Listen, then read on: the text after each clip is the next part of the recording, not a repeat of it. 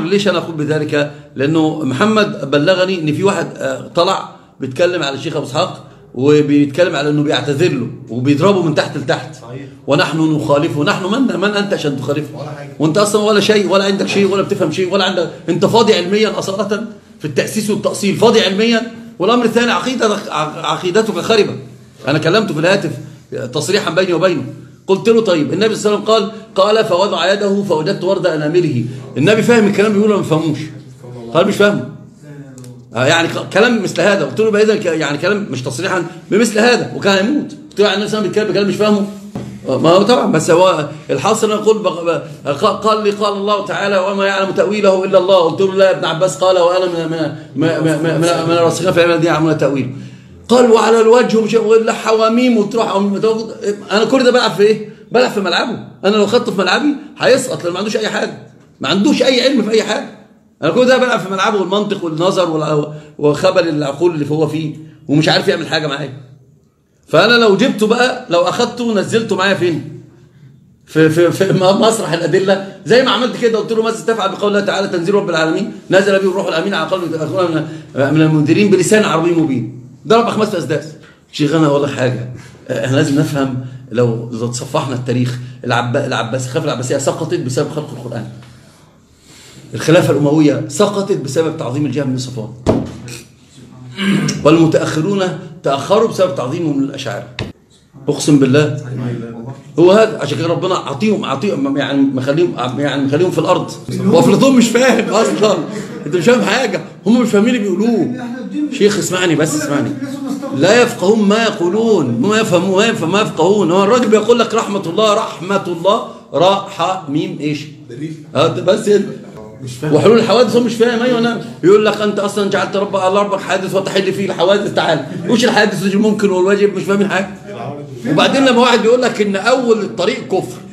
يعني لازم يكون كافر الأول وبعدين يبحث في في الأدلة عشان عشان يسلم. أول الواجبات لما يق... لما يقف وقفة معينة معينة ساعة. لما يقف وقفة معينة أفهمني بس يبقى يقف عندها ونحن نحييه كمان. بس اسمعني بس أنا أقول لك حاجة. لا هو ليش هو. بي... بي... بي... بي... بيجابه الجبال؟ ليش يقف يجابه الجبال؟ ما خليك في في مطرحك. الحاصل ابن تيمية منصف قال والمعتزلة أسلم على أيديهم كثير من النصارى. و و و ده بيبان فضلهم على الاشاعره كمان. آه آه أسلم على أيديهم كثير من النصارى ولكن لما جه يتكلم فيهم بقى عمل إيه؟ سمع عليهم ولا طحن؟ جهمية. بيضيع الدين يا شيخ بي- بيسب الله. دي دي مسبة لله. وبعدين يطلع على رجل من أهل السنة والجماعة جبل من الجبال يقول ونحن نخالفه منا نحن. انت أنت ينفع تقول نحن؟ أنت فاهم حاجة؟ أنت أصلا في كل مسألة حتى مسألة فقهية بت- بتيجي بتاخد مكتوب ورقة أو بتسمع شريط وبتحفظه وتيجي تقول سين قال صاد قال عين قال مش ده اللي بيحصل؟ وبتاع مش عارف ويسيبها برضه إيه؟ آه، نفس على نفس الطيران. خليني أنا أنا أحيي ذلك واثمنه أنا في الهاتف قلت له ذلك قلت له أنا اثمن ما أنت فيه. لكن ما يخش في الباب ده هو ماله؟ من ابو إسحاق. ماله؟ الجبل ده هو ماله؟ ماله؟ كيف هو يدخل على على, على مثل هذا الجبل الأشم ويقول لك ونحن نخالف؟ أنت مين عشان تخالفه؟ انت أنت فين أنت أصلا بينك وبين عشان تخالفه؟ صح ولا لا؟ يا عمي الديانة والوجاهة والأصل.